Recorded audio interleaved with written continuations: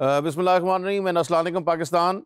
Uh, welcome back to Corporate Governance. Uh, and we had many sessions on the role of government, uh, what are regulations, uh, how those regulations uh, should be implemented, uh, what are the different issues related to government, what is the relationship between government and the corporate sector and the other stakeholders, how the government should be proactive, empathetic, compassionate, equitable, transparent, accountable, and merit-based. All of those things were discussed in great detail. Now we're going on to the next stakeholder, a very important stakeholder, and that is the role of media. Now, media, as we all know, is known as the fourth estate. So we have uh, the, the parliament, we have the executive, we have the judiciary as the three classical pillars of society, and then the fourth one, which is media, especially in the 20th century. And now in the 21st century, we have print, electronic, and social media. So all of them have their own impact. And again, it can be used positively or negatively, depending upon the circumstances and depending upon the various issues that come under consideration. Uh, ladies and gentlemen, uh, when we are talking about media, then in any democratic system, it has a very powerful and also important role. Different roles plays the role of a friend, the role of a philosopher, the role of a guide, the role of a critic. Now, all of these different roles have to be played by media depending upon the circumstances. Many a times we learn from media. Many a times we uh, become aware through media. Many a times people get or institutions get exposed due to media.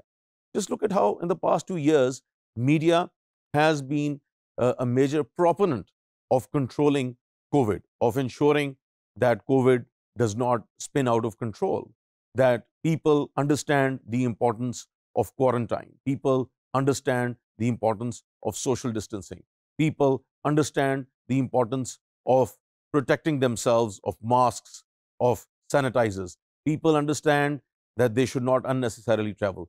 People understand the importance of vaccination, of getting boosters. And now the, the pandemic of COVID is dwindling. And that has been the role of media. It acted as a friend because when people could not go out of their homes, they basically uh, were linked through the world uh, through, through different media platforms. Uh, it acted as a philosopher because when people did not know what COVID is, its implications, and its various connotations, that is where media played its role.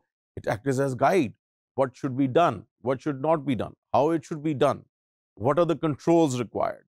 Where things should not be imposed? And then it also worked as a critic because then it criticized the government, it criticized international agencies, it criticized research organizations, medical organizations, that they were not doing enough. So all of these things were played by the media.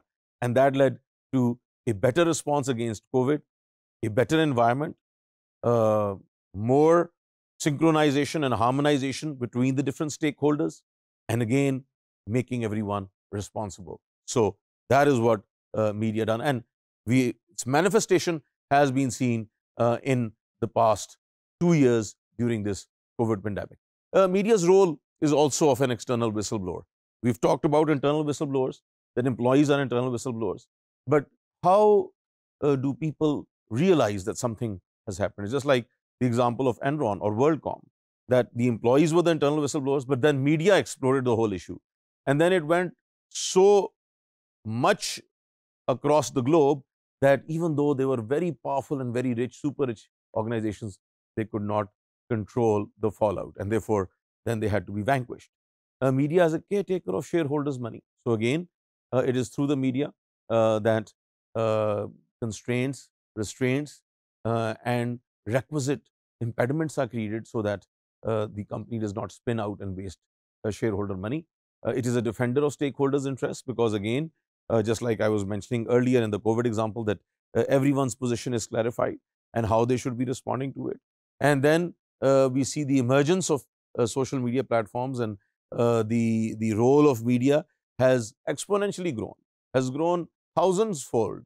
And we see that now uh, every household, poor, medium or rich, uh, educated or uneducated, they are, they are hinged onto social media.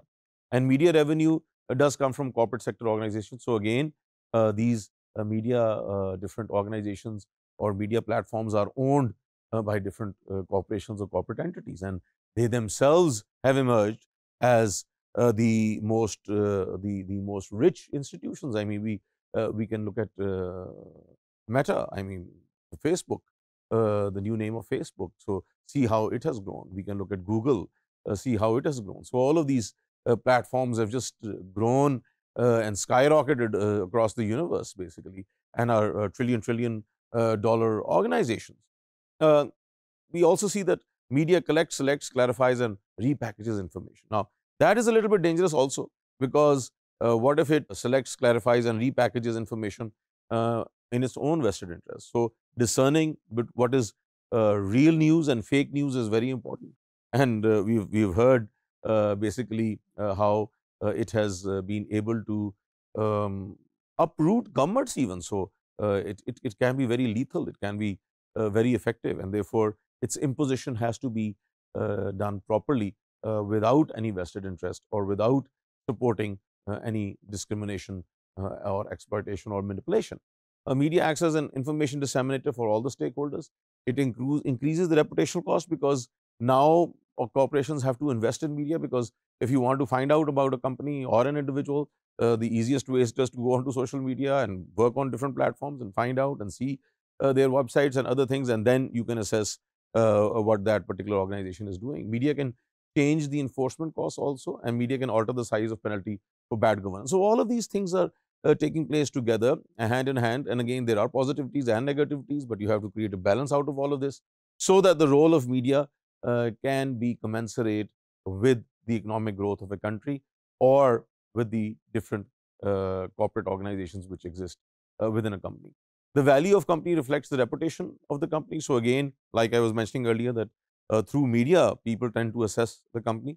Reputa reputation depicts cognitive and emotional behavior of investors. So again, the investors would be taking many decisions based upon the media input which is coming into them and managers are disciplined through reputation. So again, uh, if there is uh, any issue uh, and it is put up onto media, then it becomes public news and therefore uh, managers and executives have to be very careful in how uh, they are dealing with the various stakeholders, especially their own employees, with their clients, and they do not create a scandal because otherwise that would have uh, a huge negative repercussion on the organization.